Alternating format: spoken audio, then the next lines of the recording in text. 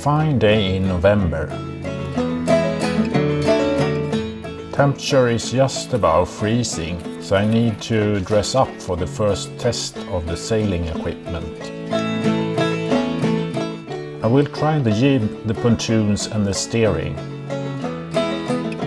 In a fine 50 knot wind. It will be interesting to see what needs trimming. First issue is the control board.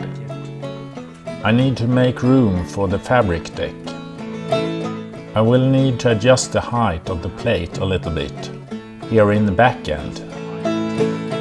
Then I stretch the tacking line for the jib. The plan here is to use the line forward of the mast as a track for a self-tacking jib. I push out from the beach to try it. Not great. The sheeting angle is wrong. Also the pontoons are too high up above the water. The beams are wobbling in the side wind. And the leech is closing in the lower part of the sail. I stop on the other side to do some adjustments. I just need to make sure that I don't lose the, the ring here. I try to manage the fabric deck again.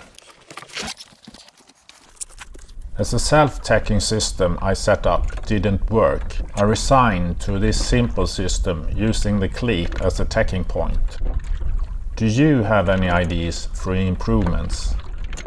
As the pontoons are too high up, I consider lowering the middle point a few centimeter, although the pontoons wobble a bit too much.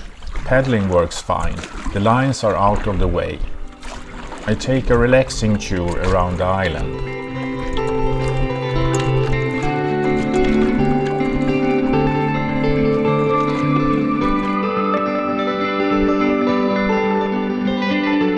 Sailing with the wind works fine.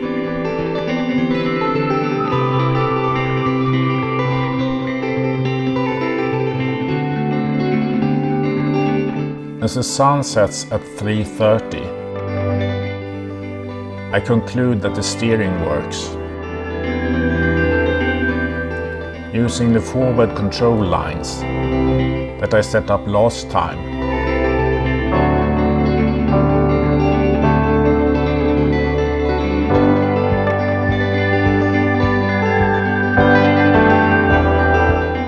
the pontoons are aligned okay.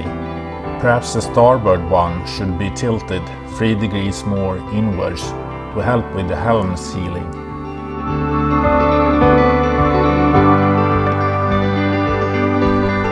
I make my way home, thinking about the additions I want to make.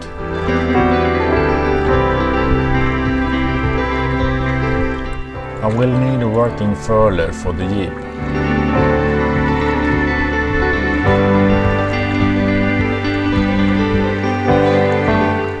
Also mainsail for upwind sailing.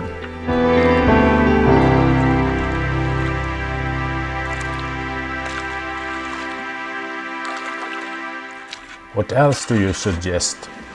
Thank you for watching. Hope to see you next time.